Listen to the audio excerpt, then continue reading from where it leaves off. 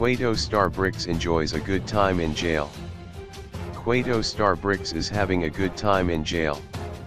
Real name Sipho Ndlovu, it looks like the convicted rapist is enjoying himself. This after a video of him was leaked, where he is seen leading a gospel song with other inmates at Sun City Prison in Joburg. Brickz was imprisoned after being found guilty of raping his 17-year-old relative in 2013. He was sentenced to 15 years in 2017.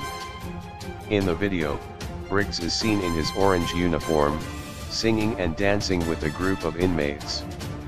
The video has been doing the rounds on different social media platforms.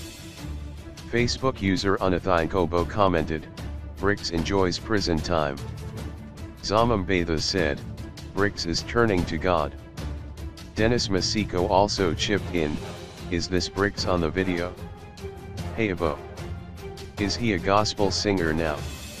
In 2019, Brickz' girlfriend Keizo Ka told a local publication that he had joined a church in prison, aimed at rehabilitating inmates and encouraging good behavior. Although the Sweet My Baby hitmaker is serving his sentence, he has maintained that he is innocent, even saying the truth will come out one day.